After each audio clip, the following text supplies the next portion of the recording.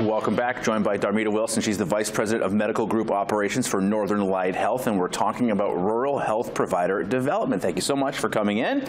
Now, My pleasure. Uh, Maine is a rural state. Uh, a lot of trees, not a lot of people.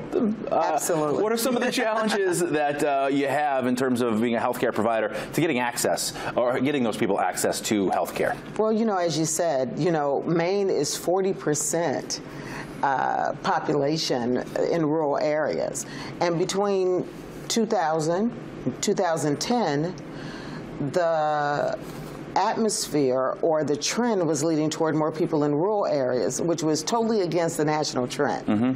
So at Northern Light, we want to make sure that we reach all of our patients, uh, wherever they are, however they are, uh, to make sure that they get the health care delivery that they deserve. Now, in terms of uh, being a healthcare provider, a doctor or, or, a physician's assistant, a lot of people get the training in larger cities. Uh, what are some of the advantages to practicing medicine in a smaller area? Well, there are a lot of advantages. First of all, you have the sense of community. Uh, you work uh, next to the people that you serve.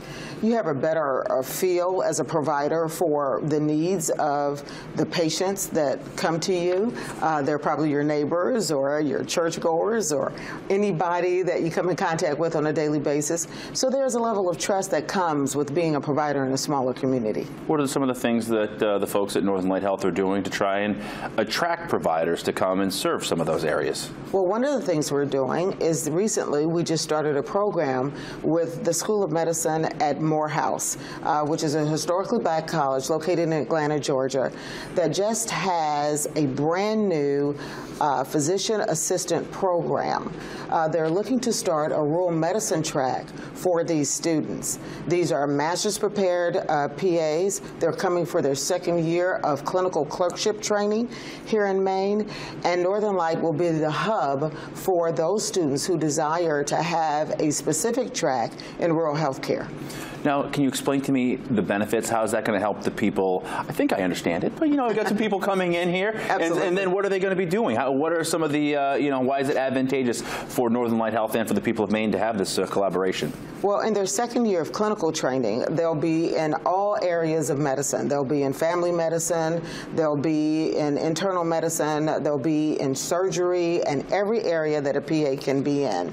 This benefit is, for us, the opportunity to allow us to teach the next generation of providers uh, all across the world as it relates to that. They have students all across the world that come, and so as a part of being a part of our clerkship here in Maine, they'll be able to see what rural medicine is like firsthand by some of our best providers and our best teachers in this area. Fantastic stuff. Thank you so much. Uh, sounds like a, a, good partnership.